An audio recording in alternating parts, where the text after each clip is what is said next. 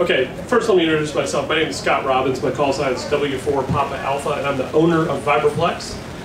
And uh, we are also the owners of Venture uh, International Radio. Uh, we distribute the Spider Beam line in the United States, uh, various other products. And I'm here to present uh, information on a new product that we're selling under the INRAD line, uh, the Model W1 headset. I've been an active contester for a bunch of years. I've been a ham since 1982, and I've owned a series of headsets over the course of my ham radio career, none of which I seemed like I was completely happy with, and or I didn't like the build quality, or I broke them, or a lot of other things. When INRAD went into the microphone business here about uh, a year ago, the what we were here at Dayton last year, the number one question I got was not really about the microphones we were selling. There were desktop mics, but it was when are you doing a headset? And at that time there was not an answer. Well, today we do have an answer, and this is the new the new W1. Um, what I tried to do with this is take the things that I would have wanted in a headset and uh, put them all together in one package and sell it at a price that's competitive with the other things that are out there. We have uh, Arlen Radio Sport, Heil Sound, people are using things like the Yamaha headsets that gamers use, etc. So what we have here is, I've got a picture on the screen, but I've also got it in my hand. Typical ham radio headset, very comfy earpieces that we have here. Um, don't like headpieces that press the ears back against the head. You have that on your head for a couple of hours, you get start to get some ear fatigue, start to get some pain.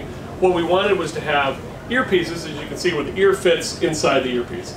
So you put this on, your ears fit inside the cans instead of having the padding around the cans pressing back on, on your head. Uh, stereo reception, it's left and right, it's not mono.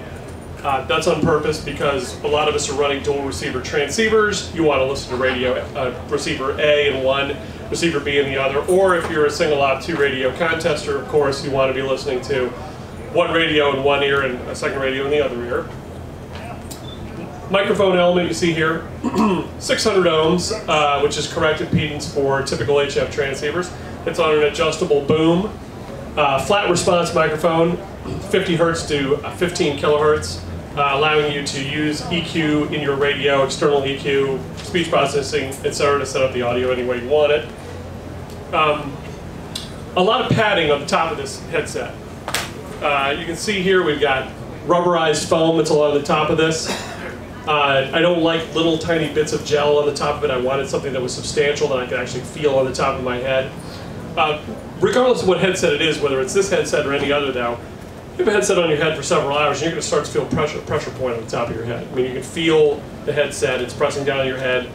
Um, this headset, we've incorporated a feature that you find in broadcast headsets. You see guys on the ESPN; they've often got the headset on their head, straight over the top of their head. But then you can see that sometimes they've got the headband tilted back.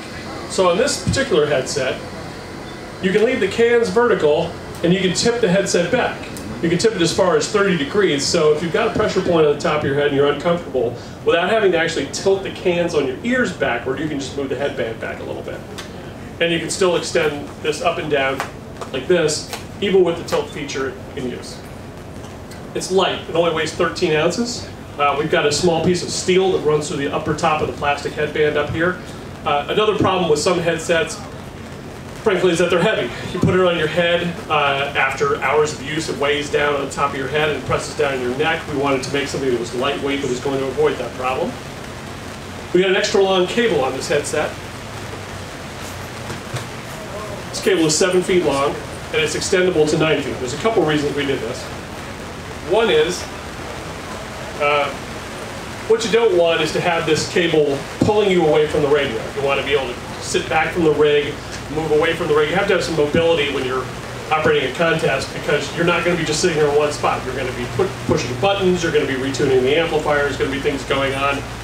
We have a coiled section here, a little bit of RF suppression with the coil on there, and then a straight section that plugs into the radio.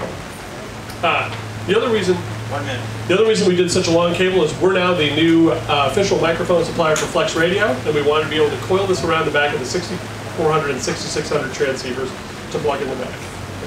We've got adapters available for every HF transceiver, ICOM, Kenwood, Yaesu, Elecraft, Flex Radio that you can think of. Please come by our booths at 1607 and 1609 in building number one, and we'd be glad to talk with you more about it. Thanks a lot.